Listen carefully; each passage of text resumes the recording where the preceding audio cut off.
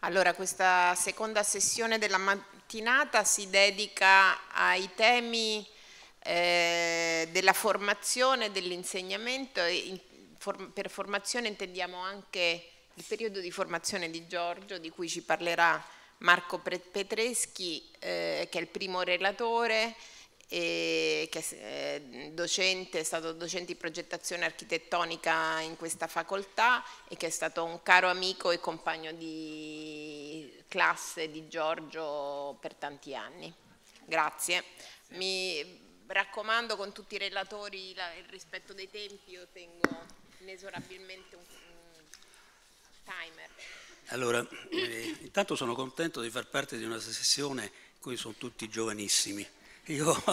francamente sono un pensionato di questa facoltà e quindi porto gli estremi. No? Poi per stare all'interno dei limiti che mi sono stati assegnati ho preferito scrivere quello che vi dirò perché così starò all'interno dei 18 minuti,30 secondi e nello stesso tempo vorrei dedicare questo scritto che consegnerò a Oliva per il semplice fatto che l'ho vista nascere piccola piccola e adesso arrivare qui in questa facoltà e le auguro che praticamente eh, Oliva possa seguitare sulla scia del padre il suo messaggio. Allora, alcuni mesi fa, in una delle tante conversazioni che avevo con Giorgio, gli facevo presente che mi ero stancato dopo 50 anni di leggere quasi sempre libri e testi di architettura. Così gli dissi che mi ero dedicato da tempo alla rilettura dei grandi classici, saltando in modo random da uno all'altro di quei bei romanzoni che hanno scrutato a fondo non solo tanti periodi della storia, ma quello che più mi interessa, la condizione umana. Da Tolstoi, Cervantes, Stendhal, Fitzgerald, Gadda e André Malraux, da Morante e così via. Proprio in quei giorni in cui Giorgio si sentì male e con Lucia e Luca Ribichini ci demmo immediatamente da fare per toglierlo dalla barella di un corridoio del policlinico e per farlo ricoverare in una stanza, ero immerso nella lettura di Moby Dick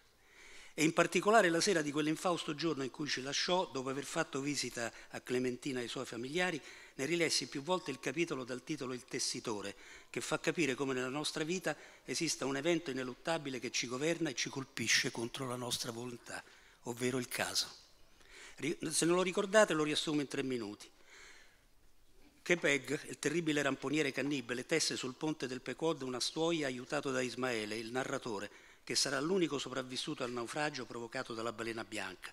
Quest'ultimo fa da spola con le sue mani e osserva quel lavorio e l'ordito di base composto da fili regolari intrecciati che avanzano in lunghezza e assimila metaforicamente quel lento procedere della trama al defluire dei giorni, o meglio del tempo. In altre parole, allo scorrere della nostra vita, cui Peg inconsapevole si intrufola in quell'ordito con fibre con uno strumento di quercia, manovrando in direzioni opposte imprevedibili, spesso deviandolo violentemente. Il corso regolare delle fibre e quelle mosse scomposte utili a configurare la stuoia, Ismaele le assimila al caso. L'intreccio tra i fili della vita e i vari corpi che ci si innestano danno forma agli avvenimenti senza che mai si possa respingerli e tantomeno pianificarli e prevederli. Ecco perché rilessi quel capitolo il giorno in cui Giorgio ci lasciò, chiedendomi se il caso che ci governa fosse stato il vero responsabile del nostro incontro e infine della sua prematura scomparsa. Infatti fu per puro, puro caso che conobbi Giorgio, vale a dire i primi di ottobre del 1964 sulla soglia di questa facoltà. Eravamo tutti accalcati all'ingresso per il primo giorno di scuola e casualmente ci siamo scontrati e smarriti come eravamo. Lui mi chiese scusa per l'urto e poi mi domandò dove dovevamo andare ignari di un luogo dove avremmo vissuto per 50 anni. Permettetemi di usare la tecnica, o meglio lo stile di comunicazione di Giorgio, che per descrivere un evento, come sapete, usava passare da acute e colte analisi alla satira e a volte scanzonata e spregiudicata alla Charlie Hebdo, con la quale uncina, e uncinava anzi, vari consessi e tanti dei suoi studenti. Insomma, passerò da Melville a Mastro 5, Totò e la malafemmina. In un certo qual modo ci comportammo come Totò e Peffino spaesati a Piazza del Duomo, quasi per mano, chiedendo ad uno che pareva molto autoritario e un po' più esagitato degli altri, assimilabile a un ghisa, dove andare per andare dove dovevamo andare, ovvero in quale aula dovevamo dirigerci. Questi con cipiglio, con tanto di barba incolta, avvolta in un eschimo, noi al contrario con giacca e cravatta, ci parlò dell'assemblea del Cinema Roxy e che dovevamo preoccuparci di ben altre cose che delle aule. Non capimmo nulla Avremmo capito dopo ognuno di noi come tanti studenti di allora che a causa degli esiti di quegli eventi avrebbero intrapreso differenti strade. Ripensandoci oggi, a mia opinione, anche se so che molti colleghi non la condivideranno, gran parte di quegli itinerari portarono allo sperpero di decine di talenti, perché tanti si dedicarono a una visione impegnata dell'architettura per cambiare il mondo e la società prima ancora di acquisire un mestiere che rifiutavano di apprendere e che in parecchi poi inseguiranno in tarda età. Da allora l'arte e la scienza di giovannoniana memoria che tanto amava Giorgio, si eh, separarono sempre più e molti, forse tra i più talentuosi, si accontentarono di pensare ad architetture disegnate. Come riporta giustamente Claudio D'Amato in un suo testo, in quel periodo in Europa prevalse una marcata ideologia di sinistra, al contrario negli Stati Uniti l'ideologia del successo individuale. In quel clima che si faceva sempre più rovente, cominciammo a frequentare assieme la facoltà e a preparare i primi esami, una volta a casa sua a Via Tevere, una volta a casa mia, affascinati da Bruno Zevi e da quel mito dei maestri individualisti quali Wright, Le Corbusier, Mies ed altri. Anzi, a dir poco affascinati, stregati al punto da non vedere altro che attraverso i suoi occhi. In un libro della Schirà dedicato ai miei lavori e commentato da alcuni critici, Giorgio, che ne faceva parte, descrisse in maniera mirabile quel periodo, i viaggi in Cinquecento in Europa che ho sempre chiamato i Grand Tour alla rovescia, ad inseguire gli eroi del movimento moderno, in primis Macintosh, fino a Helensburgh, a raggiungere la Hill House per passare a Glasgow in pellegrinaggio alla School of Art, a caccia di quelle architetture sognate, sperate e lontane che avevano visto nel grande schermo di quest'aula grazie a Zevi, Piccinato, Luigi Sacripanti e tanti altri. Passammo pure per Cumbernauld, una new town appena realizzata. Lì avvenne qualcosa di strano. Giorgio ed io ci sentimmo dire dagli abitanti che il venerdì sera in gran parte scappavano chi a Edimburgo, chi a Glasgow per ritornare a passare il weekend negli slums da dove provenivano. Ma come? Qui è tutto nuovo, è tutto lustro, tutto moderno. Ecco appunto, è tutto moderno. Secondo me, anzi ne sono matematicamente sicuro, lì Giorgio ebbe una sorta di conversione una caduta da cavallo del movimento moderno. Cominciò la crisi, la voglia di recuperare un percorso dal quale le tante affabulazioni importate dall'estero ci avevano distratto. Tornati a Roma, erano già trascorsi due anni da che studiavamo assieme, lui nonostante ci fossimo gettati tra le braccia sornione e gli sguardi accigliati e cinici di Quaroni, cominciammo a pensare che tutto sommato il tanto vituperato Saverio Muratori aveva da tempo avvertito i sintomi di una crisi del linguaggio dell'architettura moderna e su questo bisognava riflettere. Da parte mia, invece, folgorato dalla messe di dettagli dell'uso dei materiali, dell'ornato, dei colori, della continuità della tradizione di Macintosh, non desideravo altro che apprendere un mestiere, fregandomi di tanti che ritenevano a quel tempo la professione un asservimento al capitale.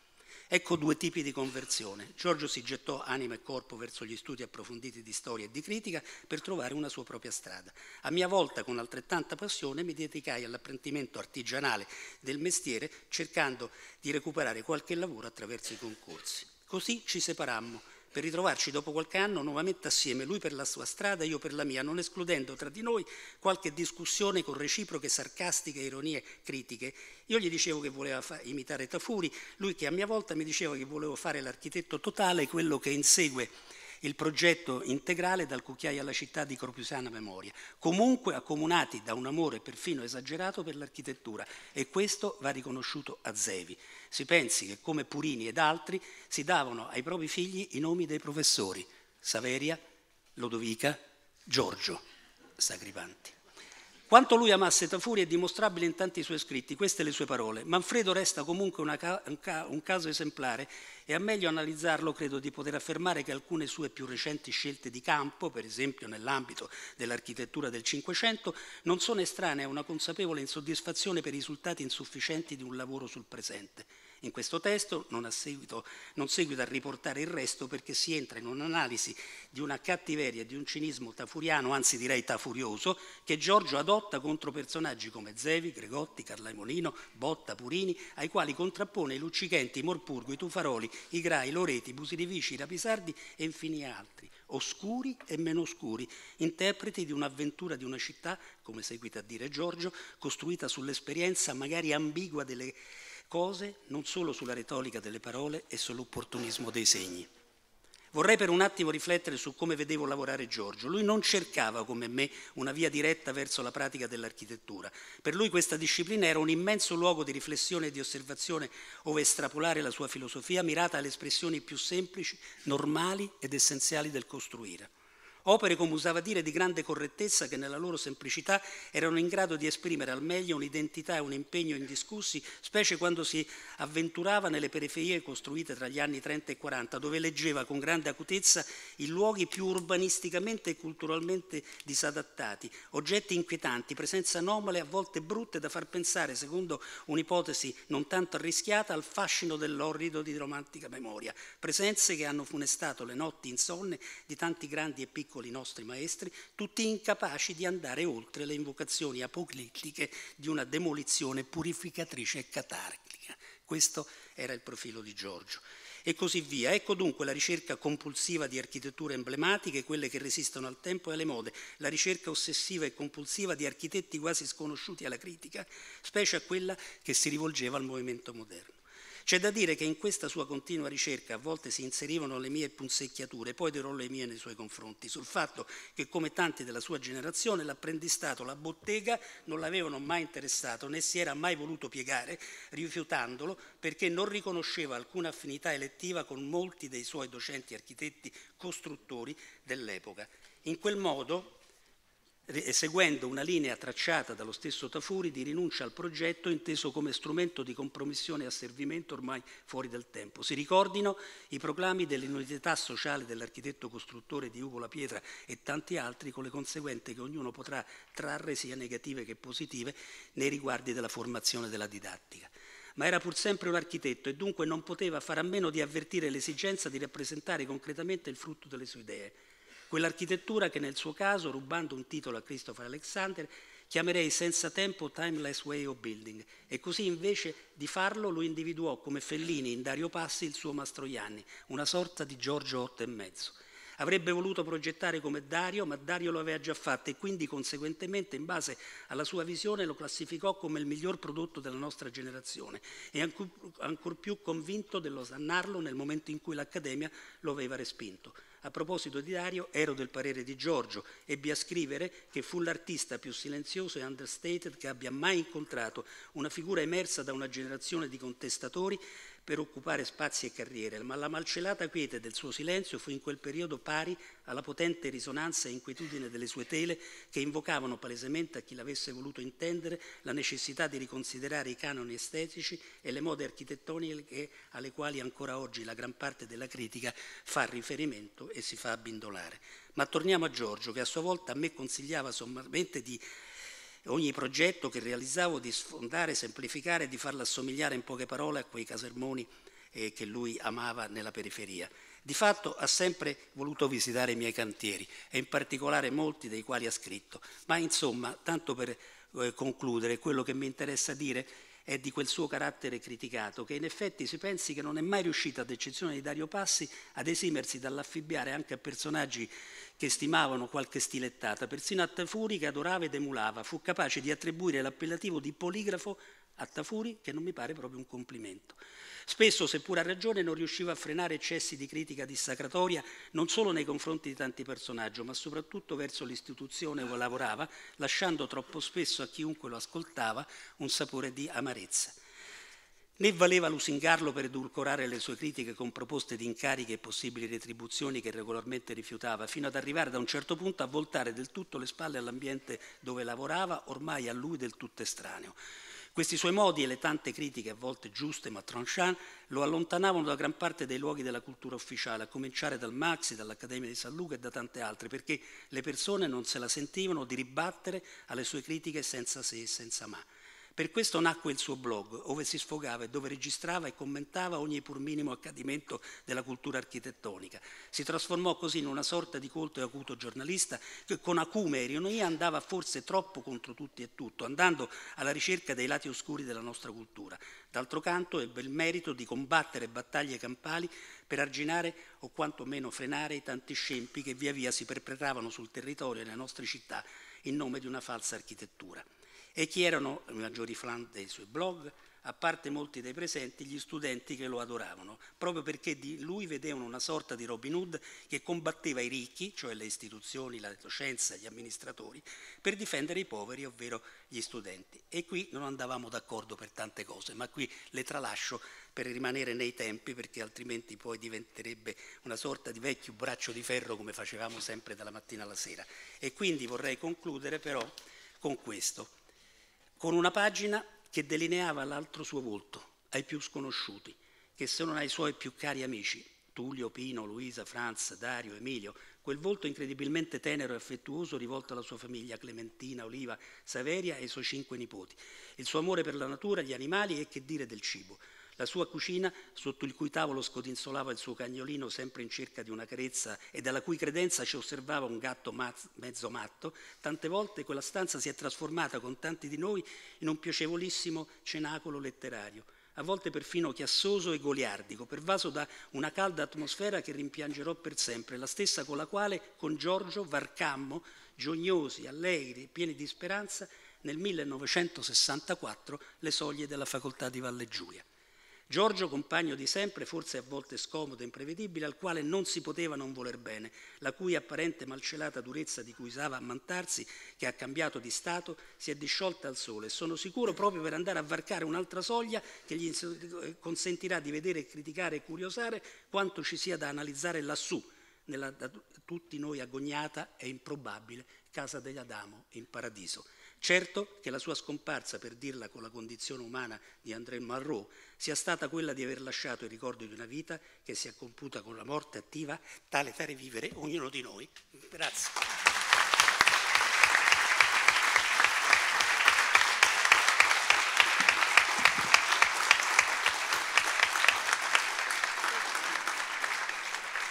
Grazie Marco per questa sentita eh, testimonianza. Allora do la parola a Maria Cristiana Costanzo che, che diciamo, con Giorgio Muratore si è laureata e anche dottorata su un tema che riguardava le bonifiche napoleoniche e che oggi lavora alla, come mh, mm, ha detto stampa alla Biennale di Venezia e ci mm, parlerà appunto dell'avventura di Spazia Roma. Sì.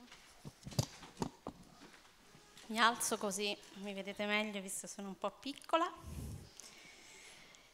E, um, sì, sono un'allieva di Giorgio e um, eh, frequentavo le sue lezioni alla fine degli anni Ottanta, il, il corso di storia delle arti industriali. E, era un, erano anni in cui mi piaceva progettare, quindi non, sì, facevo questi corsi di storia che mi piacevano e Giorgio ci fece fare una, faceva fare delle ricerche sui eh, luoghi delle proprie origini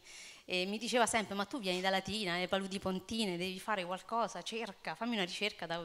Insomma, non so come, non me lo ricordo, mm, capitai, mm, feci una ricerca sui ponti e tracciati viari nell'agro pontina eh, prima della bonifica fascista e trovai agli archivi di Stato di, di Latina un Atlante delle paludi pontine pubblicato a metà del, del, intorno al 1820 dal barone de Prony, che poi è stato uno dei più, dei più longevi direttori dell'École des Ponts et Chaussées a Parigi. E Giorgio mi disse devi andare a Parigi a fare una ricerca, devi capire che cos'è sta roba, non è possibile che ci siano questi album. Eh, nella letteratura dedicata alle paludi pontine o comunque a Latina, Littoria, c'era poco scritto di, di, della presenza dei francesi. E, mm, ma io volevo fare un cosa in progettazione, volevo fare la tesi di laurea in progettazione, quindi dico, vabbè, no, poi non so il francese, non posso andare da nessuna parte. Poi dopo una, così, una eh, diatriba con un professore con cui dovevo fare la tesi di laurea, ritornai con la coda tra le gambe da Giorgio feci un corso intensivo di francese e partii per eh, la Francia, dove agli archivi di Stato trovai, e Giorgio qui aveva ragione, faldoni, carta eh, intitolata Li paludi pontine mai aperti, cioè gli archivisti degli archivi di Stato di Parigi mi dicevano mai nessuno ci ha chiesto Eh, quindi mh, ho un po', grazie a Giorgio, aperto un, un capitolo che poi ehm, eh, appunto le, scoprì, adesso non, non, non, mi dilungo su questa nota autobiografica, ma eh, in questa ricerca che feci a Parigi, che mh, poi feci la, la, laurea, il dottorato di ricerca, ehm, per scoprire che le paludi pontine sono state un cantiere di riferimento per tutti gli ingegneri incaricati delle paludi litorali in Francia e comunque sulla costa anche eh, dell'Europa. Quindi le, questa ricerca poi fu, fu, pubblicata in vari articoli, ma insomma eh, eh, mi, eh, Giorgio mi ci spinse e eh, eh, questa, questo lavoro, fare, in, con questo lavoro, adesso oggi vedo qui Susanna Pasquali che fu il mio co-relatore e che lavorammo insomma, insieme a Giorgio e insieme a Susanna per insegnarmi anche a chi è architetto no, a volte ha bisogno, almeno mi ricordo, per me era fondamentale, me lo fece capire Susanna che l'approccio scientifico a un testo è completamente diverso da quando uno vuole scrivere articoli così di, di più di intrattenimento. E, ehm, la, eh, eh, prima del dottorato di ricerca Giorgio mi chiese se volevo andare a, a lavorare da um, Fuxas.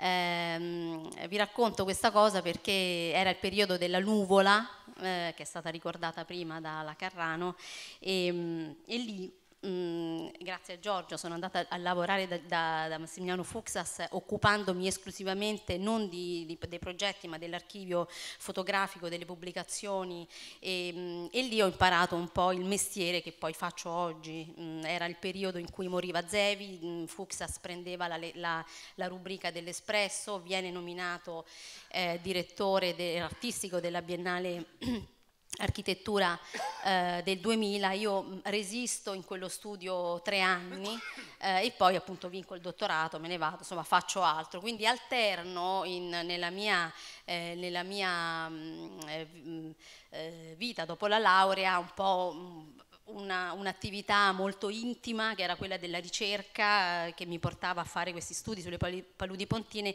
e un'attività invece di mh, comunicazione, quindi molto più eh, esterna, sempre avendo la, il timore di essere sempre un po' fuori rotta. E però il, il mio contatto con Giorgio mi conteneva, no? mi aiutava, di, mi diceva no ma tu ma sì, non ti preoccupare, vai avanti, fai eh, finché un, mi, mi chiamò, io ero stata un po' di anni a Parigi per fare il dottorato, mi chiamò per fare per organizzare eh, Spazi a Roma, una, eh, aveva avuto dei, dei, fondi dalla regione Lazio, poi ave, era in contatto con Marcello Cava che era un regista che si era occupato, aveva occupato l'Ambra Iovinelli, tutta quella, la stagione dell'Ambra, dell'Ambra Iovinelli nella fine degli anni 90 e, mm, e organizzammo un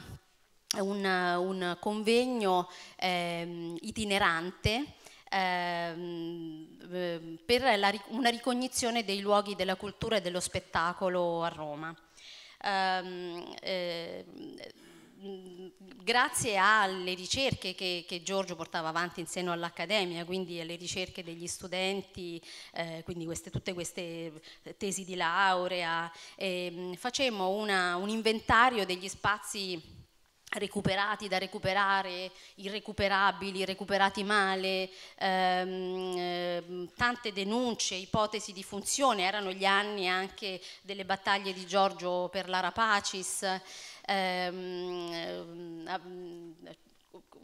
come dire, ci dettero il loro contributo ehm, tantissimi anche di voi che vedevo più, più stamattina che adesso. Ehm, c'era anche Renato Nicolini. Ehm,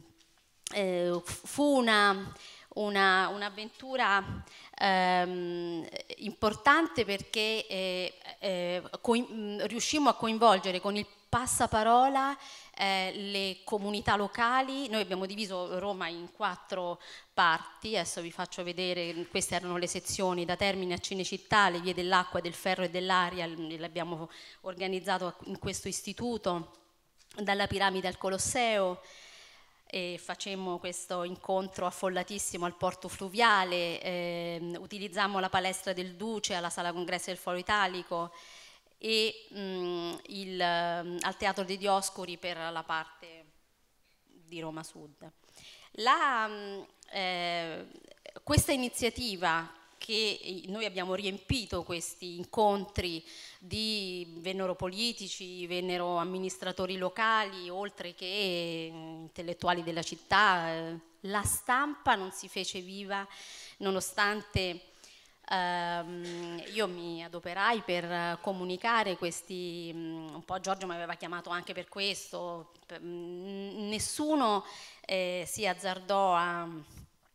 a pubblicare niente, erano gli anni che tu ricordavi, appunto Giorgio viene eh, proprio bandito, sembrava esserci quasi una fatua su, su, su di lui, sulle cose che, che organizzava. Ehm, la, mm, e, e, e, Giorgio di fronte a questa cosa, io mi, mi, ricordo che lavoravo tantissimo per diffondere questa notizia sui media e poi la, la sera facevamo il punto prima di questi incontri e io quasi mi scusavo, dicevo ma io non so, non sono riuscita a, fare, boh, a far pubblicare niente, così e Giorgio mi, mi, confortava dicendomi sì lo so, non ti preoccupare, non, import- andiamo avanti come sempre e, diceva. La, eh, questa, questa, questa, avventura fu poi eh, come dire, raccolta e documentata da mm, una piccola iniziativa editoriale che abbiamo poi messo su proprio io e lui, perché un giorno a studio, mm, così mm, ci eravamo fatti dare tutti i contributi dei relatori, mi fa vedere un, una, una rivista di letteratura tedesca da taschino, eh, era un pochino più piccola di questo, alla fine il prodotto fu questo qui, Ora vi, vi, faccio vedere le varie copertine, questo vabbè, non importa, eccole qua, si vedono, non si vedono benissimo, ma questo era primo, i primi due numeri che sono condensati, questo era il formato, poi alla fine era una 5, in realtà l'originale da cui eh, dovevo prendere spunto era un pochino più piccolo, eh, l'abbiamo fatto in casa, questo è una 4 piegato in due, io avevo appena cominciato a usare Express e quindi fu ehm, come dire, un, un lavoro, ehm, un lavoro corale che però eh, diceva, eh, come dire, eh, a Roma secondo me e anche il, il eh, vi volevo leggere una cosa, il, fu un,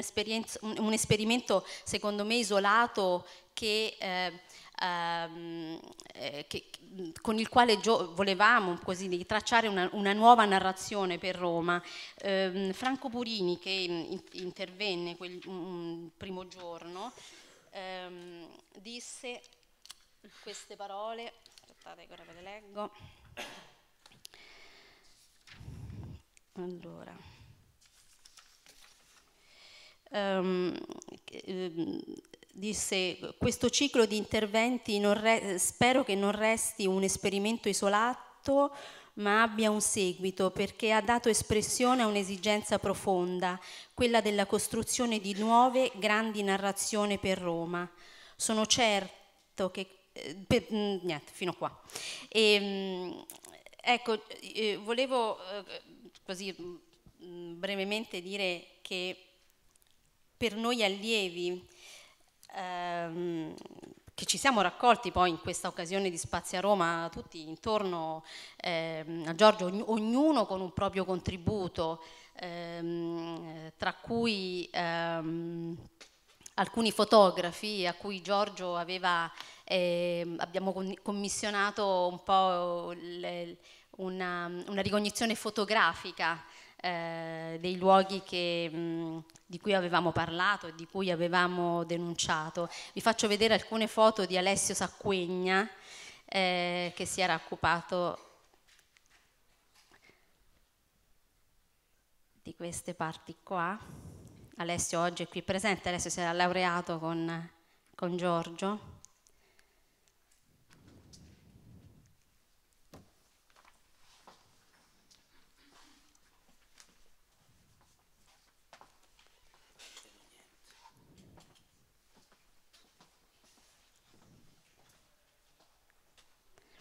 E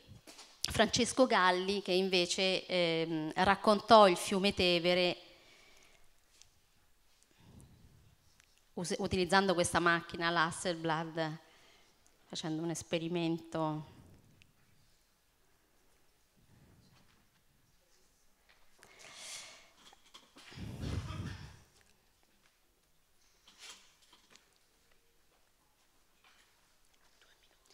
Questo, sì sì, ho, ho finito.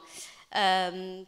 per noi allievi dicevo che abbiamo avuto la, la, fortuna di incontrarlo, io parlo per me ma penso che mm, parlando con, con tanti di voi che conosco è stato un mentore Giorgio Muratore,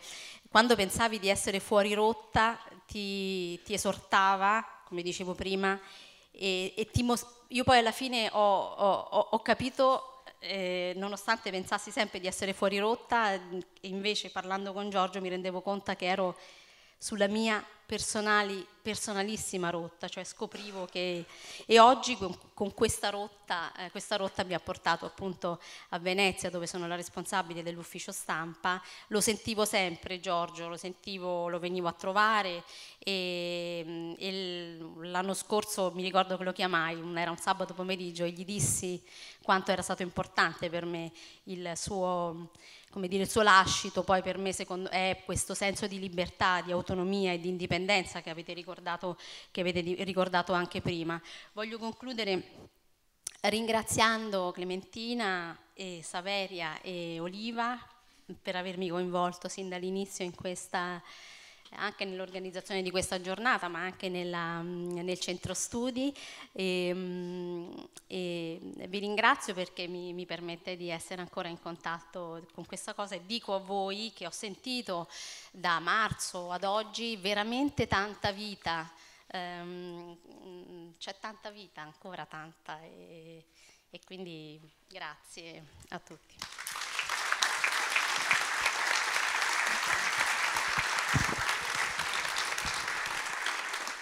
Grazie Cristiana, soprattutto poi per aver eh, ricordato il coinvolgimento tuo e anche di Antonio Schiavo e Andrea Brentivegna nell'organizzazione della giornata che sono stati assolutamente fondamentali per portare avanti eh, l'organizzazione appunto. Allora do la parola a Luca Arcangeli che, che, stato, che, si è laureato con Giorgio con una tesi su Nicolosi, è stato anche suo assistente e ci parla appunto del, dalla didattica alla ricerca, si, si intitola la sua relazione. Salve, allora innanzitutto grazie di avermi invitato a parlare in questa importante occasione in ricordo di Giorgio. Come vi hanno appena detto mi chiamo Luca Arcangelo ed ho avuto la fortuna di essere assistente di Giorgio Muratore, esperienza quella dell'assistentato che mi ha portato a stringere ulteriormente un rapporto, quello con Giorgio, che mi aveva visto essere prima studente del suo corso e poi desista. Tra la tesi e l'assistentato, un'esperienza importante che ha rinsaldato ulteriormente i rapporti con il professore è stato progetti di ricostruzione, una serie di mostre e conferenze monografiche avvenute tra il 2009 e il 2010 e dedicate ad importanti figure dell'architettura contemporanea. In quell'occasione Giorgio diede fiducia e consentì di spendere il suo nome ad un gruppo di neo quasi laureati per selezionare ed organizzare una serie di incontri nati al fine di approfondire un tema a noi molto caro, allora come adesso, ovvero il rapporto tra progetto e città antica. Fu così che io, Francesco Cianfarani, Luca Porqueddu, Valentino Chiapparelli riuscimmo a dare vita a questa serie di mostre e conferenze che coinvolsero alcuni tra i più importanti autori del panorama architettonico italiano e non solo, Giorgio Grassi, Lina Zasoro, Carmassi, Francesco Venezia. Molte lezioni furono introdotte da Giorgio Muratore e Franco Purini. Insomma, un'importante occasione di crescita e confronto che spero, che spero sia stata tale per gli studenti come per le persone coinvolte. In contemporanea al ciclo di conferenze iniziava il dottorato, ma soprattutto l'esperienza come assistente presso il corso di storia di Giorgio, esperienze che ho condiviso con Francesco Cianfarani. Ricordo con grande fatica quei giorni trascorsi costantemente in biblioteca, i confronti fino a tardi per preparare le lezioni che Giorgio spesso che Giorgio stesso ci spronava a fare in maniera diversa dalla sua, rielaborando, aggiungendo togliendo dal programma del corso. Insomma, un'enorme esperienza formativa che ancora oggi ricordo con estrema gratitudine per il ruolo fondamentale che ha avuto nella mia formazione. Nonostante riponesse grande fiducia in noi, tanto da lasciarsi alterare il programma, lasciandoci introdurre in più punti argomenti diversi o tagliando diversamente argomenti già noti, Giorgio era costantemente presente alle lezioni, seduto in prima fila e non per fare correzioni o appunti su, stav- su quanto stavamo dice- dicendo, ma semplicemente perché quello era il suo posto, il suo corso, un corso al quale non aveva fatto mai mancare la sua presenza. Un corso al quale la sua presenza non sarebbe mancata neanche ora, in un momento così difficile, così difficile come quello che stava vivendo personalmente. Successivamente Pino Pasquale e Giorgio Muratore mi cooptarono anche per la fase iniziale di Atelier Appennini. Partecipai volentieri a due episodi di questo importante esperimento, svoltosi nelle città di Alvido e di Anghiari, una sorta di laboratorio di progettazione itinerante per le città dell'Appennino. Le città dell'Appennino, le città rinascimentali, il suo famoso libro del 75, già ricordato più volte oggi, o anche il rapporto tra progetto e città antica, tema chiave del ciclo di mostre e conferenze a cui ho accennato e che Giorgio ha sostenuto fortemente. La città, forse il più grande interesse di Giorgio, forse l'unico così complesso e contraddittorio da adattarsi alla sua multiforme attitudine alla ricerca, che ancora nell'ultima stagione di vita si accingeva ad indagare, avviando una serie di studi sull'argomento e proponendo a noi assistenti di curare alcuni libri di una collana sulle città italiane che doveva nascere sotto la sua direzione. Ricordo che Francesco aveva appena iniziato la stesura del suo libro su Rieti, mentre io avevo appena finito di raccogliere il materiale per il testo su Civitavecchia e parte di quello su Perugia, dove avrei dovuto occuparmi principalmente del rapporto tra città e università, che ben si inseriva sugli studi, sugli studi su Nicolosi da me condotti. Scusate un attimo. Tutti progetti che purtroppo avevano già subito un rallentamento e che si sono definitivamente interrotti a causa della prematura scomparsa di Giorgio. Tra le occasioni a cui dovette rinunciare nell'ultimo periodo, non secondario è stato l'invito di José Ignazio Lenazzasoro a legarci all'Università di Madrid per tenere due interventi all'interno di quella che doveva essere una giornata di studio attorno alla figura di Giorgio Grassi, cosa che dovette assumere inevitabilmente un'altra forma e che mi vide partecipare da solo a quell'importante occasione a cui Giorgio dovette mancare con non poco rammarico. Come accennato poco fa, non posso non citare brevemente la ricerca su Giuseppe Nicolosi, che nata nell'ambito della tesi di laurea sul recupero e del risanamento del villaggio Breda, divenne poi qualcosa di autonomo. Negli anni successivi continuai a raccogliere materiale sull'argomento. Il primo frutto di questa indagine venne nel gennaio 2013, grazie anche alla sensibilità e all'impegno di Pietro Cefalì, architetto e direttore scientifico della Casa dell'Architettura di Latina, che riuscì a pubblicare con non poco sforzo editoriale il primo, il primo risultato di questa ricerca. In questa occasione Giorgio accettò, accettò generosamente di fare l'introduzione al libro e di partecipare alle molte occasioni di promozione dello stesso, sostenendomi con la sua presenza in questo percorso per me nuovo e difficile. L'ultima di queste occasioni fu particolarmente importante perché nacque su segnalazione di Giorgio al professor Moschini, il quale decise di invitarmi a tenere una lezione di presentazione del libro all'Accademia di San Luca. Tra poco più di un mese, sono quasi due anni da quell'importante esperienza che mi diede l'opportunità di tenere per l'ultima volta una lezione con Giorgio. Il lavoro su Linguelossi prosegue tuttora, sto eh, tentando di finire l'inventario dell'archivio per conto del Ministero dei Beni Culturali, cosa di cui sono sicuro Giorgio sarebbe contento ho deciso di proseguire questo breve intervento eh, con uno stralcio e una lezione del professore. Vedete, mm, ma veniamo a questo edificio che vedete alle mie spalle, o meglio a questo progetto che sperava di diventare un edificio, in più occasioni presentato a Mussolini, un grattacielo enorme, un edificio a torre, un palazzo alto, insomma via via un po' più basso, ma man mano che si ristringevano anche le ambizioni di chi lo presentava e, e forse anche le prospettive dell'impero. Ma, ma a, Giorgio, a Giorgio eh, piaceva raccontarlo così. Ma perché indugiare su questo edificio di Palanti? E soprattutto perché Palanti? Chi è Mario Palanti? Una domanda a cui forse qualcuno sa dare una risposta, una domanda sicuramente meno oscura di qualche anno fa, ma la questione non è neanche questa. La domanda corretta è perché inserire questa serie di progetti di Palanti o di altri architetti considerati minori all'interno, all'interno di un corso di storia dell'architettura contemporanea e per di più all'interno di un corso flagellato come tutti dall'inappropriata durata semestrale.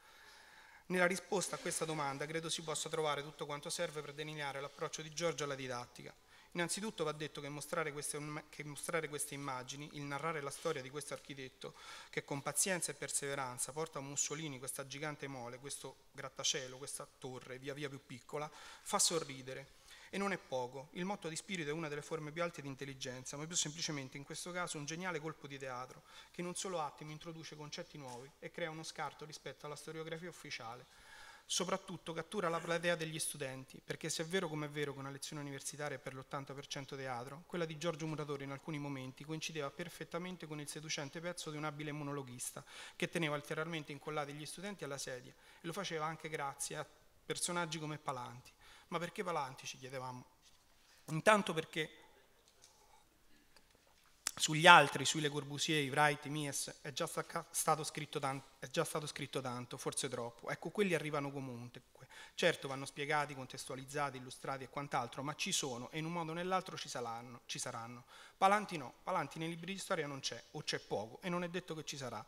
Dunque ricapitoliamo, un docente che spiega, come è normale che sia, ciò che è presente nei libri di storia, ma che inserisce all'interno delle lezioni queste, queste incursioni di illustri sconosciuti. Questo inevitabilmente ci porta a una serie di riflessioni. La prima, se vogliamo, ovvia, ma che vale la pena ricordare proprio perché la sua vita spesso la consegna all'oblio, ovvero nei libri di storia non c'è la storia, nei libri di storia c'è una storia, una storia che, fatta salva una parte inevitabilmente oggettiva, uno zoccolo duro condiviso da più storici, è preda di un autore che ha, si spera con equilibrio, pesato le fonti e dato origine a una narrazione dei fatti, anch'essa il più possibile oggettiva, ma inevitabilmente in parte soggettiva, perché fatta da una particolare prospettiva, quella dell'autore appunto. Questo cosa significa? Significa che oltre i confini del libro, tra le pieghe della storia dell'architettura, c'è un mare di architetti, un insieme sterminato di edifici e di oggetti, di storie da narrare,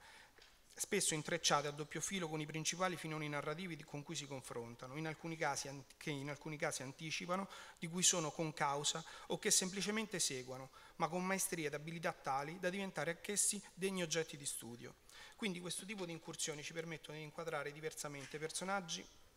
personaggi che già conosciamo, comprendere meglio l'eccezionalità di alcuni autori proprio per il rapporto differenziale con gli altri, o viceversa, di relativizzarne il contributo, inserendolo in quella che probabilmente era una prassi operativa comune in una data epoca, anche se condotta con maestria ed abilità.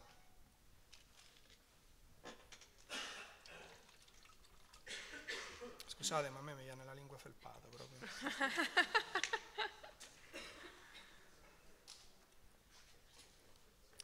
Ecco, questa mi sembra una peculiarità del corso di Giorgio rispetto ad altri corsi di storia, se vogliamo una specificità che ci dice molto del suo approccio alla didattica, che in virtù di ciò porta lo studente a coltivare il dubbio, lo spinge a ricerche autonome in direzioni diverse, un insegnamento maieutico che incoraggia gli studenti a pensare autonomamente, studiare prima e rimettere in discussione poi le varie letture del passato proposte dai testi, un atteggiamento che ci aiuta a spiegare non solo la relazione con gli studenti, ma anche il suo approccio alla ricerca.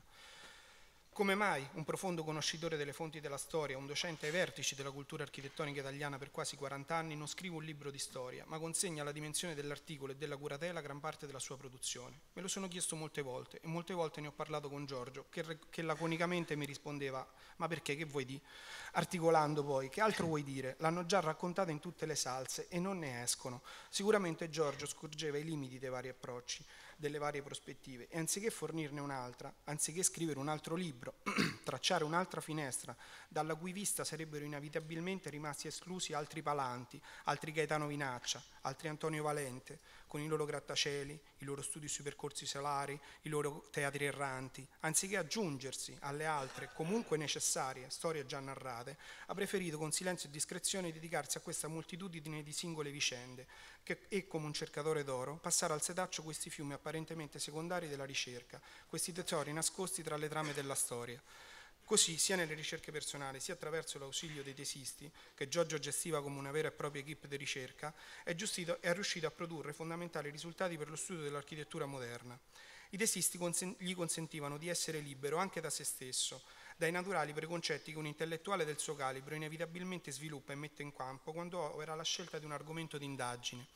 Con ingenuità molti si rivolgevano a Giorgio, che si lasciava portare in mondi che conosceva per grandi linee e che spesso apprendeva tramite le ricerche degli studenti stessi, per poi metabolizzarli ed inserirli in quell'ampio sistema di conoscenza di cui disponeva e quella che per lo, per lo studente spesso rimaneva, fatte rare eccezioni, la ricerca della vita, per lui diventava un'altra trama, un altro ordito da inserire in quel grande arazzo della storia al quale lui non voleva dare forma, ma che voleva semplicemente osservare, attendendo pazientemente che una forma affiorasse, quasi per decantazione. La personalità, la personalità di Giorgio La personalità di Giorgio rifugge sicuramente a facili etichette, da chi lo vuole scenkeliano di ferro, esperto di architettura rurale, sostenitore del barocchetto romano, appassionato storico del ventennio, appartenente a questa o quella scuola, dalla parte dell'avanguardia o contro di esse, morettiano, sostenitore di guaroni o di muratori, rossiano, grassiano della prima ora, o fine conoscitore delle alte applicate e del design. Muratore forse era tutte queste cose, con l'inevitabile contraddizione che questo comporta. In una personalità come quella di Giorgio, così densa di conoscenze e passioni, convivevano anime ed interessi molto distanti tra loro. Spesso chi si avvicinava a lui lo sentiva particolarmente affine a sé, a mio avviso, semplicemente perché rileggeva in lui i suoi interessi, senza cogliere la vastità e la presenza di altri che con quelli convivevano ed entravano in contrasto. È per questo che ritengo particolarmente esatto il titolo di questa giornata, perché proprio in virtù della vastità di interessi che lo contraddistingue, Giorgio era soprattutto un intellettuale che aveva scelto come strumento la conoscenza dell'architettura e come campo di indagine la società. Per Muratore l'architettura era un punto di vista privilegiato per comprendere la società. La storia dell'architettura non era a servizio del progetto, ma viceversa. Per lui era il progetto a servizio della storia sia essa economica, sociale, politica o storia personale, biografia, perché la sua era una storia dell'architettura fatta soprattutto di biografie, di uomini, con le loro debolezze e le loro passioni, fondamentali per comprendere il quadro generale di quel disegno che lentamente sarebbe affiorato dalle coltri della storia. Grazie.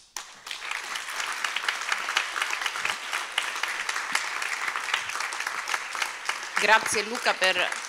questa lettura sul, sulle tante storie che Giorgio ci ha aperto. Do la parola a Andrea Bentivegna, che anche lui si è laureato con Giorgio su una tesi su Mazzoni in Colombia, sì. e che ci parla anche lui dell'esperienza didattica. Allora, buongiorno a tutti, uh, scusate uh, l'emozione. Innanzitutto eh, volevo ringraziare per l'opportunità di essere seduto qua insieme a questi nomi così importanti. Eh, il mio personale contributo a questa giornata sarà quello di cercare eh, di raccontare l'importanza eh, del professor Muratore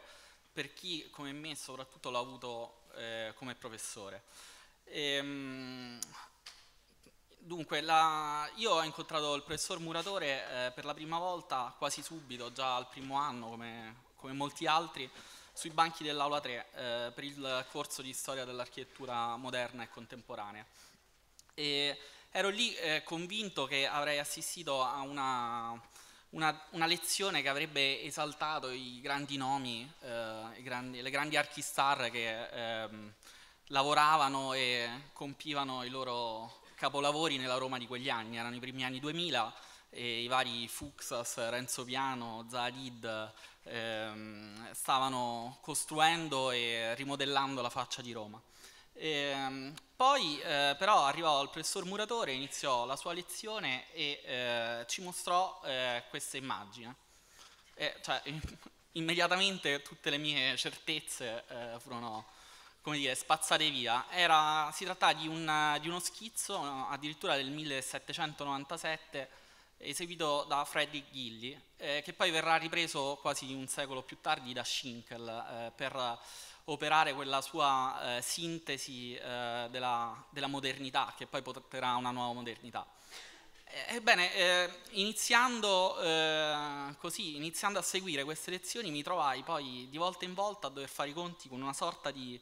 conflitto interiore tra ciò che, il professore, tra ciò che io ero convinto fosse eh, una grande architettura e ciò che invece eh, diceva il professor Muratore, che puntualmente smontava pezzo per pezzo ogni, ogni nostra convinzione. Ehm, e così ehm, ehm, lui, noi andavamo avanti eh, in, questo, in, questo, rapporto che ci costringeva a mettere in discussione qualsiasi cosa noi eh, avessimo letto o tentato di osservare e carpire dalle riviste più alla moda eh, del tempo, eh, di, di, architettura chiaramente. E, ehm, in ogni caso eh, le sue lezioni eh, si articolavano eh, sempre con, eh, non tanto come storie, non tanto come un racconto della storia, ma più che altro il racconto di varie storie che vedevano tra, tra i loro protagonisti non architetti ma veri e propri personaggi.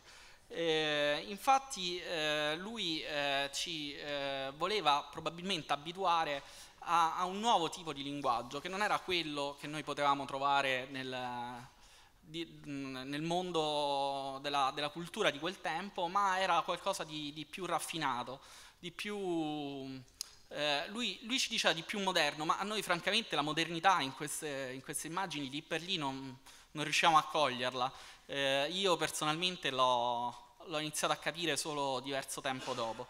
E, ehm, comunque eh, le, le, sue lezioni erano sempre eh, si, mh, condite eh, da uh, memorabili aneddoti che lui distillava nel, nel racconto di questi, di questi personaggi. E, ehm, e così eh, fortunatamente ehm, erano chiaramente interventi e, e, commenti sempre ironici e graffianti, addirittura alcuni altri studenti più, più diligenti del sottoscritto gli hanno anche hanno avuto la prontezza di stenografarli e così eh, oggi eh, potrò riproporvene alcuni, eh, qualcuno. E allora uno,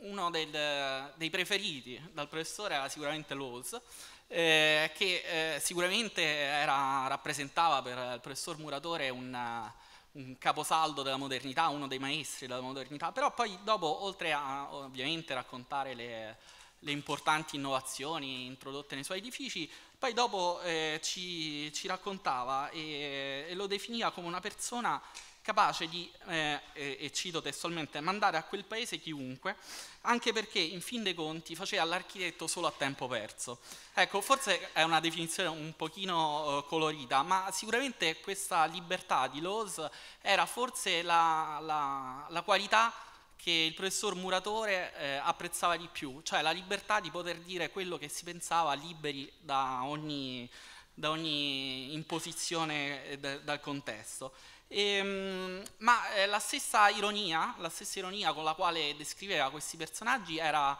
eh, poi riversata anche nel racconto della, della loro opera. Eh, ad esempio, sempre parlando di Lowe's, eh, un edificio eh, di cui lui ci parlava, l'American Bar, costruito a Vienna, eh, ebbene, eh, dopo averlo descritto minuziosamente, dopo aver descritto l'importanza delle, della sua innovazione, il professor Muratore poi lo definiva, mh, spiazzandoci, eh, una sorta di irriverente pernacchia alla tradizione europea.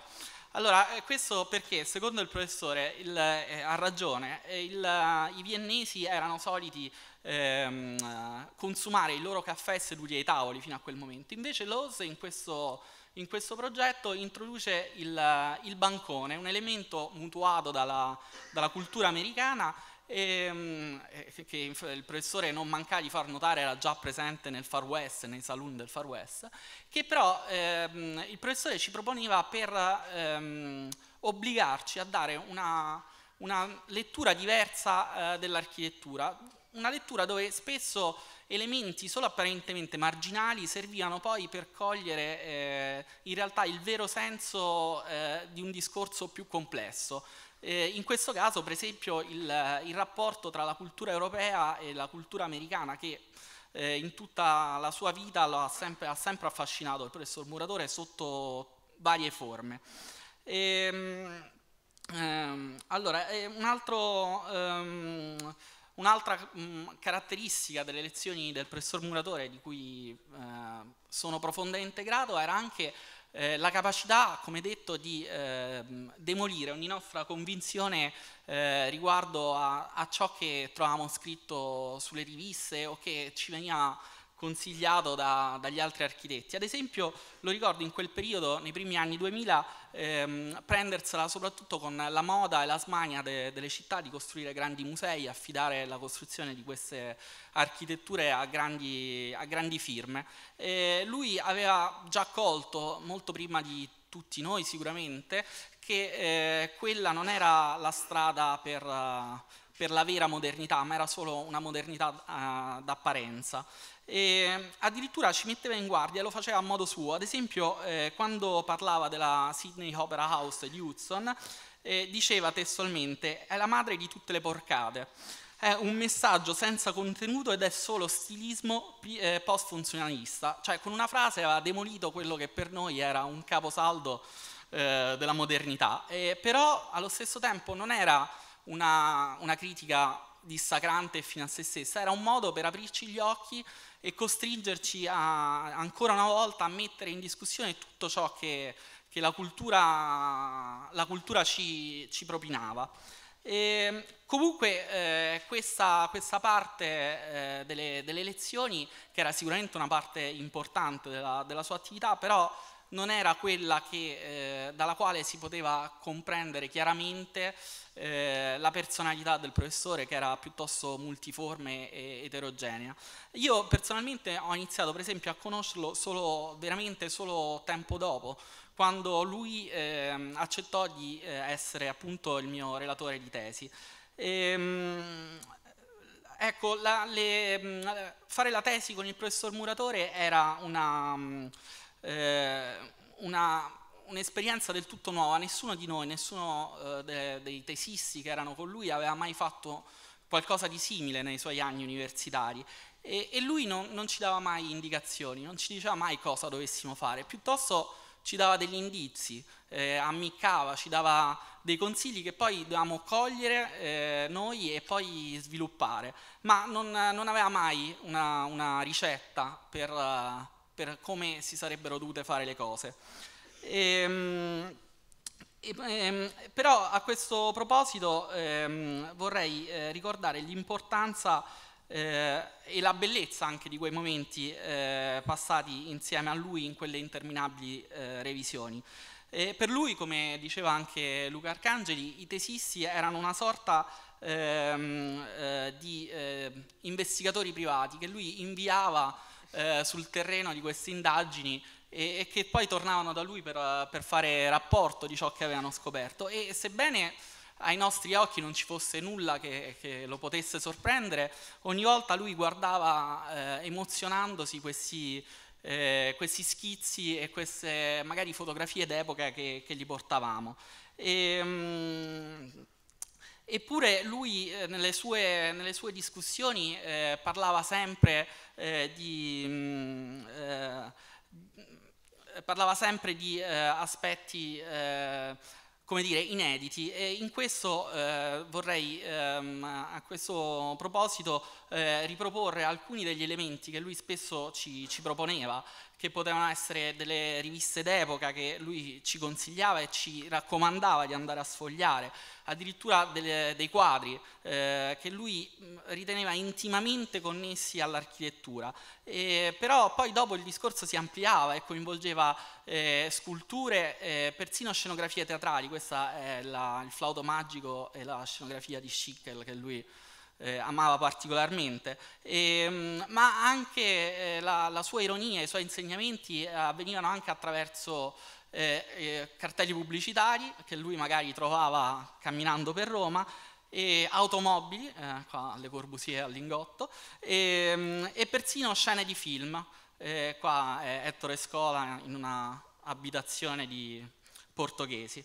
E comunque ehm, la, la eh, la grandezza di, questi, di questo strumento, di questo linguaggio che lui utilizzava era duplice perché obbligava alla riflessione ma soprattutto imprimeva eh, nella memoria dei suoi studenti e dei suoi tesisti ciò che lui eh, voleva comunicarci. In questo eh, caso ehm, lasciatemi eh, ricordare quello che secondo me era l'esempio migliore della sua capacità comunicativa, ovvero eh, la spiegazione del Seagram Building di Miss Van der Rohe. Eh, il Seagram lui ce lo mostrava così, con una slide in cui si vedeva la facciata e ci raccontava tutte le caratteristiche, eh, l'altezza, la facciata, la pianta, eh, insomma tutte le cose standard. Poi a un certo punto ci faceva soffermare sul colore de- degli infissi, il color ambra, che rende così caratteristico questo edificio. Poi dopo faceva una pausa eh, con grande teatralità e poi ci mostrava questa,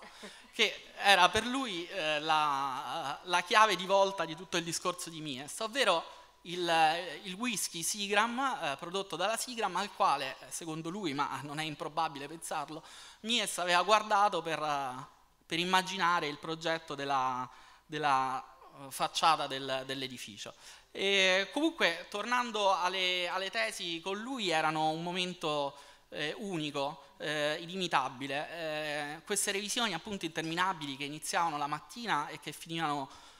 eh, molto oltre l'ora di pranzo e dove, eh, durante le quali la tesi era solo un mero pretesto, perché poi eh, spaziavano in mille altri argomenti. E, mh, e avvenivano sempre eh, come un piccolo cenacolo di giovani curiosi eh, seduti attorno a lui, dapprima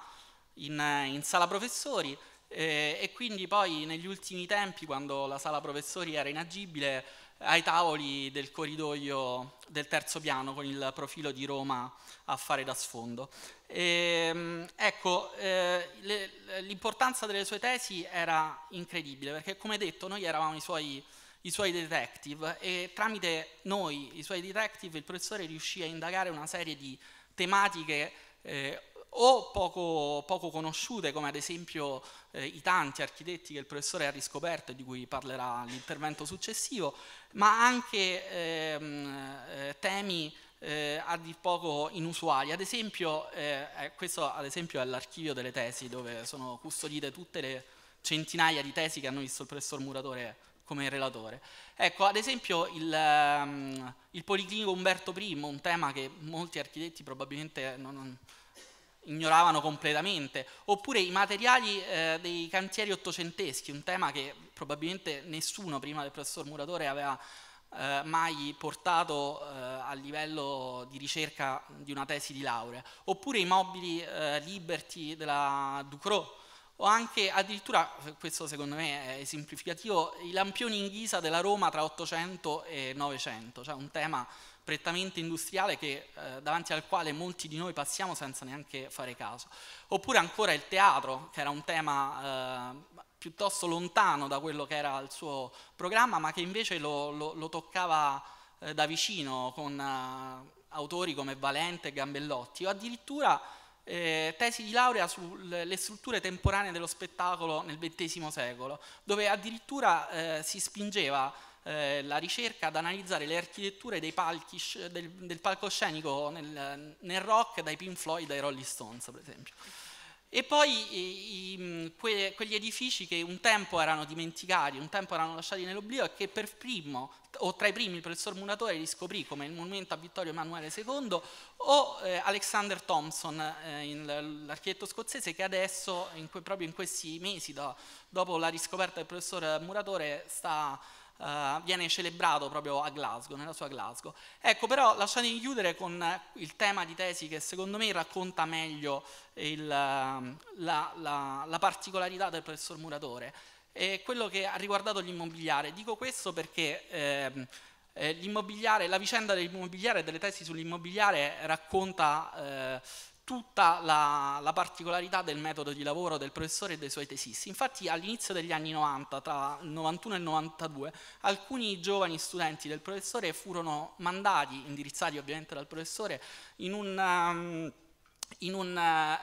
um, in un capannone nei pressi di Casalpalocco e quello che trovarono al di là della porta fu eh, quello che potremmo definire il santo graal eh, della storiografia eh, architettonica del secondo Novecento, ovvero tutto l'archivio della Società Generale Immobiliare accatastato in enormi pili, pile di faldoni. E, ecco, l'immobiliare era stata dimenticata eh, dalla seconda metà degli anni 50, quasi condannata a una dannazio memoria, eppure il professore non si era rassegnato.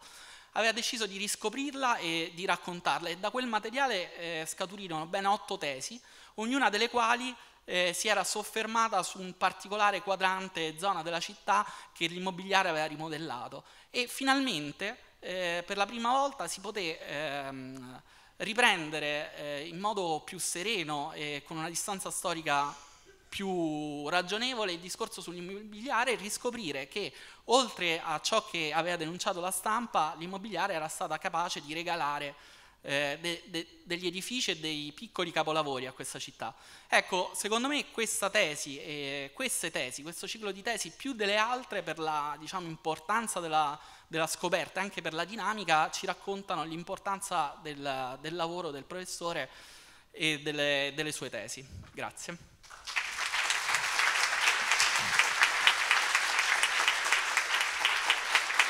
Grazie Andrea perché ci hai veramente con una serie di indizi fatto entrare nel modo in cui Giorgio faceva le lezioni, soprattutto penso che poi eh, quel, mh, mm, ci sarà stata la mano di Petreschi a suggerire quella tesi sui palchi, secondo me. e Antonio Schiavo eh, è, anche lui ha fatto una tesi con, eh, ti sei andato di qua, con Giorgio Muratore su Carpiceci e, e ci parla delle tesi sugli architetti riscoperti. Buongiorno a tutti. Ma intanto, come direbbe il professore, l'ora suggerisce molte cose, però diciamo che sarò, sarò molto breve per non dire telegrafico. Anzitutto ringraziare la professoressa Barucci, e Oliva e Saveria per questo, per questo invito che mi, mi, hanno, mi, hanno, fatto veramente sentire orgoglioso e, e, anche, e anche, emozionato. Come vedete eh, ho messo un'immagine, una foto di, di Flavia, di, della tesi dello studio Giorgio Muratore in cui ci sono tutte quante le tesi di laurea sugli architetti scoperti e non solo. Però la storia che vi voglio raccontare non parte da Via Tevere ma parte praticamente da Valle Giulia. Perché casualmente, proprio dieci anni fa, perché era l'8 ottobre del 2007, io insieme a altre 300 persone più o meno,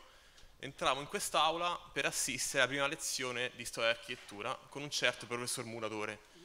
e la prima cosa che fece muratore fu quella di distribuirci un programma abbastanza corposo, con una bibliografia infinita quasi, e come suggerimento ci disse di andare subito a vedere una certa palazzina che stava qui dietro praticamente, che secondo lui era una delle più importanti costruite a Roma nel Novecento. E la palazzina era ovviamente la palazzina Girasole di, eh, di Luigi Moretti. E, ehm, tuttavia però le lezioni di muratore spesso e volentieri finivano un po' prima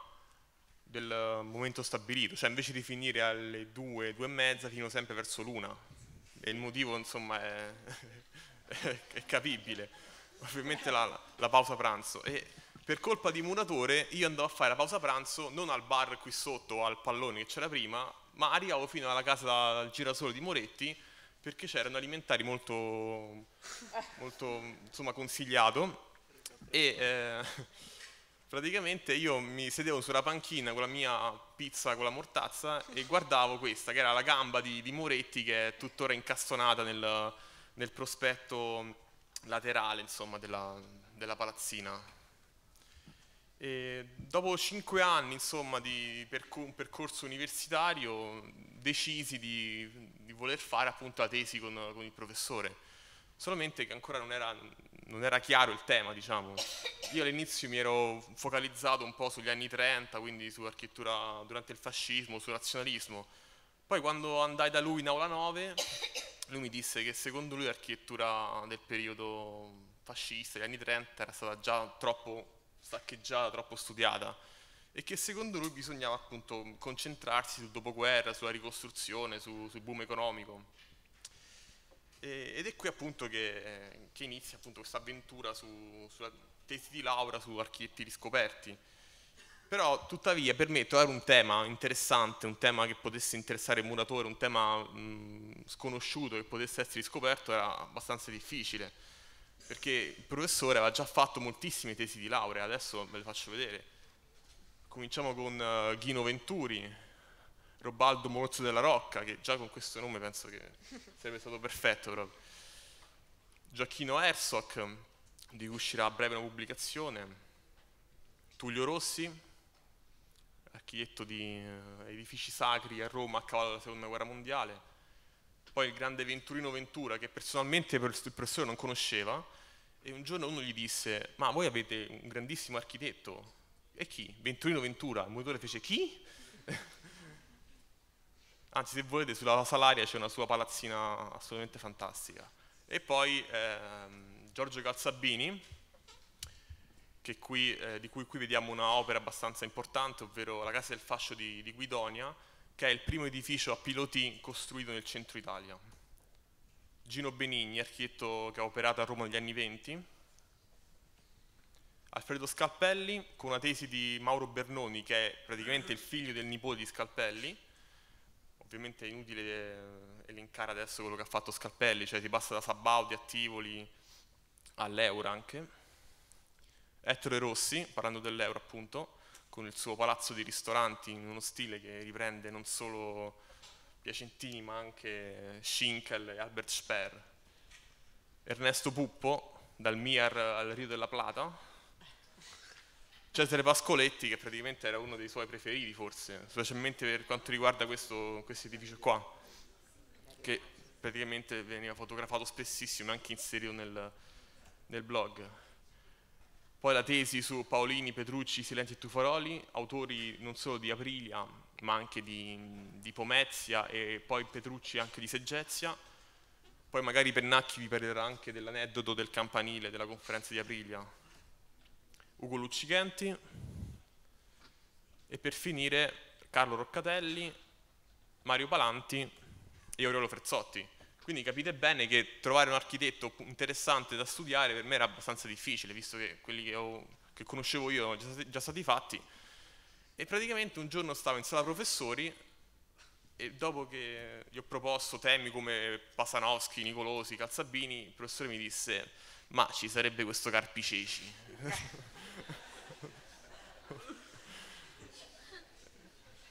e praticamente il professore Carpiceci l'aveva incrociato quando si occupava di Valente, perché Carpiceci firmò la sua prima opera in collaborazione con Valente, si trattava del, della facciata del centro sperimentale di cinematografia. E di Carpiceci conosceva anche questa palazzina qui, che è la palazzina Arcobaleno, esatto, sì, praticamente qui. E lui la conosceva perché sono praticamente coede, la palazzina del professore. Lui mi diceva che quando era piccolo e andava in Toscana, passava sempre davanti a questa palazzina e per lui questa palazzina rappresentava un po' quello che era l'ingresso a Roma dal nord, insomma. La cosa pure interessante, oltre alle revisioni e le lezioni, erano anche gli aneddoti, insomma, oppure le, le curiosità. Per esempio lui mi anticipò dicendo che eh, io avrei trovato l'archivio nella classica cassapanca della casa di campagna e così fu praticamente io ho trovato l'archivio nella, nella soffitta della, di, della, della, villa, della, casa di Carpiceci a Santoreste. Mi disse anche di stare attento ai sorci. e infatti trovai topi e pipistrelli, però questo non, non, ci ha, non ci ha fermato. Poi un'altra cosa interessante erano i soprannomi che lui dava a queste opere. Praticamente questa palazzina qui non era arcobaleno, ma era quella del pappagallo. Non so perché, forse per Invece questa qui era la villa di Rita Pavone, forse per questo linguaggio un po', un, po', un po' estroso. Sempre riguardo a questa palazzina qua, lui mi diceva, mi spronava ad andare avanti dicendo che un giorno Carpiceci sarà più importante di Renzo Piano e che praticamente i, i, i turisti cinesi verranno a Roma e faranno le foto alla palazzina di Carpiceci dando le spalle all'auditorium di Renzo Piano.